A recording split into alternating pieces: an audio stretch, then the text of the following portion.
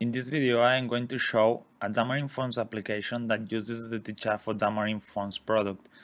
This application can be downloaded from the Steema GitHub account or also it is included in the TeeChart for Xamarin Forms product, the TeeChart for Xamarin Forms installer. This application just just to show how looks the chart in the in the application. We are going to run and here we can see that at first we used the dashboard inside the layout where you can see several charts and they have been these have been customized each one uh, different colors and aspect series types etc if we go to the first option you can see line series also customize it with the pointers line width colors axis hidden axis uh, bottom legend. And if we go to the next one you can see that dashboards are also possible. Easily you can configure dashboards on your applications and add several charts.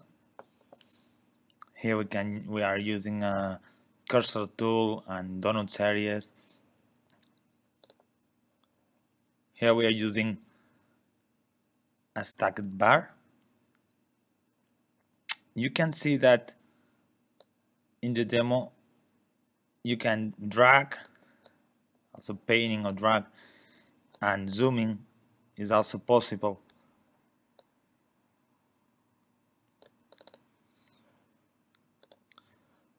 Here are series with transparency.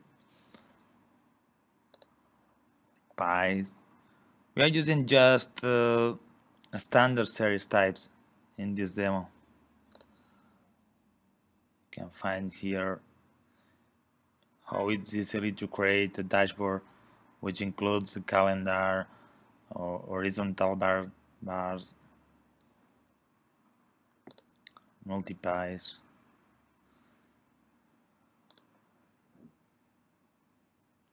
Uh, here we are using donut series. Uh, this example works also on Windows Phone and Android uh, Android applications Android system and, and Windows Phone system. Here for example using more than one series type Gantt series and Babel.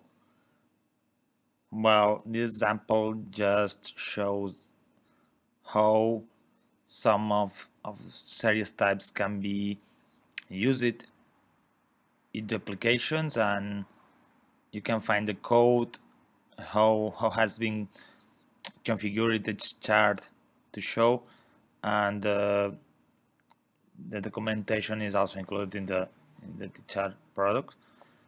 So well hope you like it. Thanks